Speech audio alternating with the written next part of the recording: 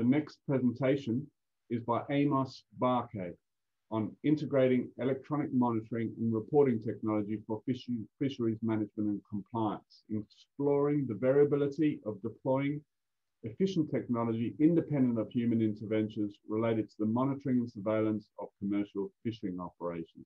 Good day. My name is Amos Barkai. I am the CEO and co-founder of OLSPS. Today, I will be presenting to you our work on the integration of our existing electronic reporting technology, named OLRAC, with third-party onboard electronic monitoring system for fisheries management and compliance. I will also share with you our vision regarding the incorporation of AI technology as part of our Envigus electronic monitoring and reporting integrated solution. OLSPS was founded in 1989 by Dr. Mike Berg and myself for the purpose of providing commercial fishing operators with analytical insight and with related software products needed for the quantitative management of fish resources. The photo in this slide was taken last year, just shortly before the COVID pandemic changed our life, maybe forever. Presently, OLSPS employs 40 vibrant and diverse individuals, most of whom are highly qualified and professional in the field of software design, fishery science, mathematics, statistics, data modeling, database design, and more. The entire company is now cloud-based and operating remotely with each other and with all our clients around the world. In recent years, there has been an increasing demand for tighter control of commercial fishing operations in national, national and international waters. In addition, public pressure was mounting for the inclusion of ecosystem consideration in commercial fishing regulation and management targets. To address this demand, fisheries manager needed many more and far more reliable data from fishing operations. These needs were translated into a tsunami of fishing regulation and data reporting requirement. Onboard human observer were initially viewed as a significant way to improve both data collection and real-time onboard monitoring. However, the deployment of onboard fishing observer was found to be very expensive to deploy and difficult to manage and often surmount to a relatively low operational coverage. One obvious solution for the greater demand for large amount of reliable data was the introduction of modern data technology to the commercial fishing sector. OLSPS has developed a highly sophisticated yet simple to use e-log software system named OLRAC. The OLRAC e-log was designed to be infinitely customizable for the needs of any fisheries in any countries using any fishing methods. The OLRAC e-log can also be easily modified to address ever-changing data requirements. This comprehensive data management system is comprised of two units, the OLRAC Dynamic Data Logger, which is the vessel unit, and the OLRAC Dynamic Data Manager, which is the web-based fleet management server. The OLRAC DDL e-log software is capable of tracking vessel movements in real time while collecting and recording many types of data, including catch, gear, discard, wildlife interaction, environmental data, and more. Data can be recorded and stored in any kind of format and can include video clips and images. The OLRAC DDM web server can manage data from an entire fleet of vessels to the level of a whole fishery or the entire national fishing fleet. The OLRAC system is presently deployed in many fisheries and is used daily by hundreds of vessels around the world. Last year, OLSPS initiated a joint venture project called EMREP, stand for Electronic Monitoring and Reporting, funded by EA grants.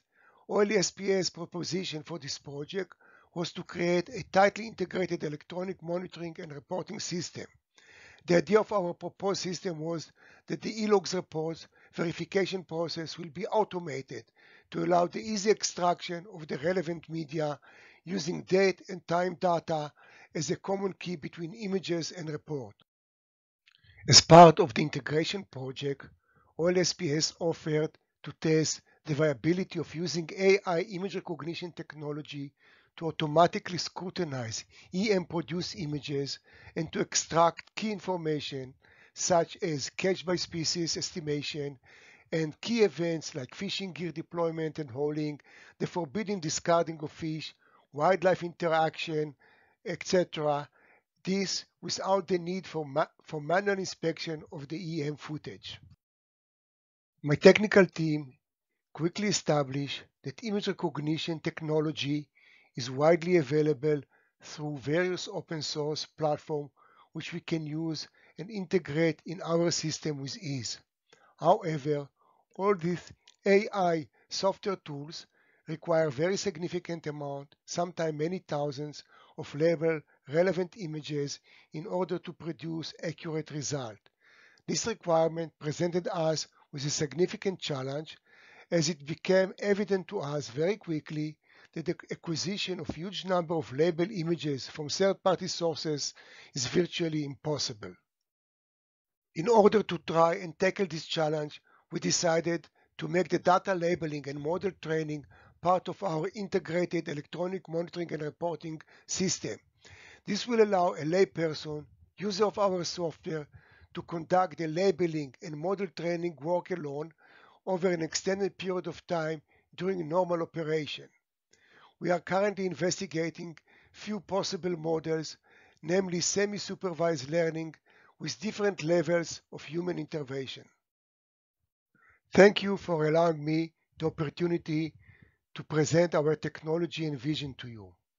I'm happy to answer any questions you may have, or alternatively, please feel free to contact me via my details captured below. Thank you very much for sharing the vision and the work of your team, Amos. I was just thinking out loud here when you're talking about your labeled image data sets and the challenges everyone has to get to these labeled image data sets. Um, and, and how we can think of incentivizing a kind of global repository of labeled data sets which have had the oversight of similar to how we put books together at FAO, these ID books, we work with museums of the world and so on. Um, do you see there's an opportunity there for to help you develop these type of fully autonomous systems to to bring in other players to make this a reality so that we can work more hand in hand? I notice even your team seem to be coming from south africa and israel and so on. So multinational teams how do we bring a multinational vision to the requirement to build really good labeled data sets for, for everyone to be able to use. Have you got any ideas on that, Amos? Yeah, thanks. Thanks, everybody. Good morning. Yeah, I have many ideas, but uh, I'm not sure that I have many solutions. Uh, it's extremely challenging.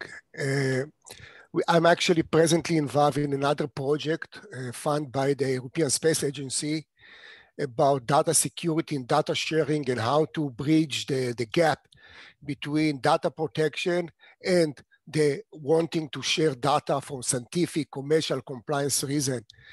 Uh, and we, as part of it, we approach many, as part of this, we approach many uh, organizations that we're working with, fishermen organization, authorities organization, and right now, I can tell you that 80% to 90% of the time, the response is negative. People are not prepared to share data.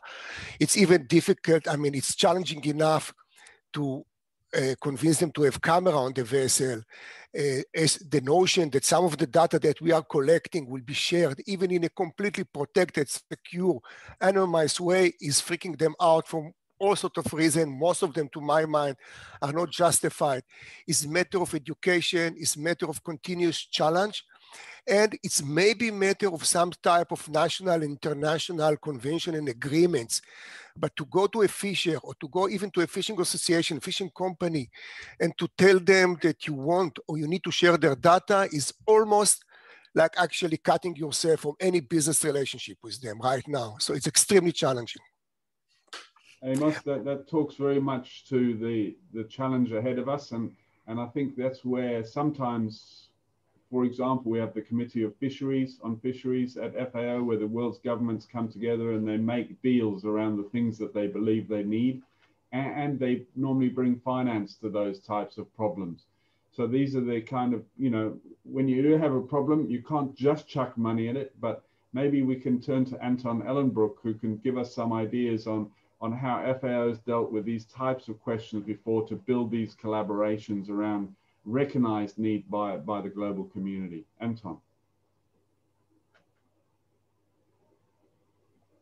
Um, yeah, so for those of you already know FAO, so we hold several uh, secretariats with uh, where we work with uh, fisheries organizations around the planet to start discussing, um, uh, for instance, standards and guidelines for uh, fisheries and aquaculture. So that can be seem very trivial, but for instance, to have a global definition of what is a fishing net and what classifications there are in fishing nets, it is, of course, it will have implications if you start building a regulation around your fishery.